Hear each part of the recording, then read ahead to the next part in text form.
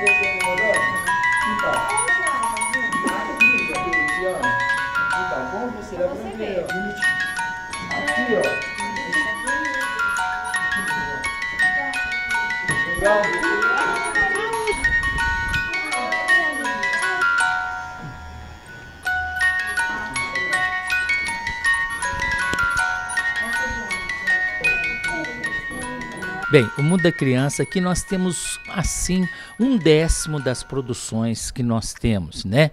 É, e como esse ano o Núcleo de Teatro Infantil está fazendo justamente 40 anos, nós resolvemos fazer justamente uma lembrança de tudo isso. E o que eu acho que é interessante que a gente tem aqui nessa exposição é até uma pesquisa de material. Tem coisas que a gente fez em papel machê, tem bonecos que tem uma base com arame dentro, depois nós partimos para espuma. À medida que os materiais foram aprimorando, a gente também foi aprimorando o processo de produção desses bonecos e desse material todo. Nós começamos a fazer o teatro infantil depois que fazia o teatro adulto, porque a responsabilidade com o teatro infantil é muito maior, porque com o adulto adulto, se ele não gostar, ele vai embora. A criança não, ela desaparece e não vai gostar mais do teatro. O público infantil, ele é um público espontâneo. Se ele não gostar da peça, ele vai se manifestar instantaneamente. E quando ela chega e conversa alguma coisa em cena, você responde diretamente a ela. Você não pode ignorar que a criança está ali, chegou na frente do palco e está falando alguma coisa com você.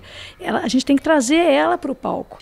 E que eu acho que é legal para o ator ao fazer o teatro infantil, porque eu acho que exige mais da gente expressivamente. Então, como exercício de atriz, eu acho que o teatro infantil é uma grande fonte.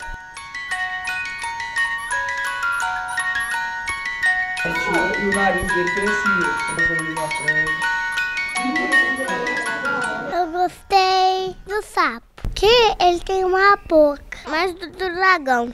Porque o dente dele é mais legal. Dragão. Porque a língua dele. Ah, do gigante. Eu gostei mais do cavalinho. É porque ele é bonitinho.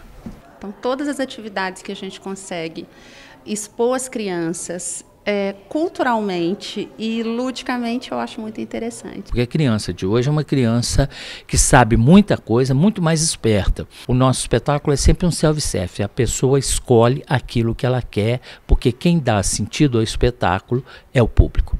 Durante todo o mês de outubro, nós estamos recebendo as crianças, não só da escola, mas de toda a comunidade. O telefone do fórum é 3215-3850 e um telefonema pode agendar para as escolas, um grupos maiores. Quando for pai, criança, pode vir, que nós estamos aqui prontos para recebê-los.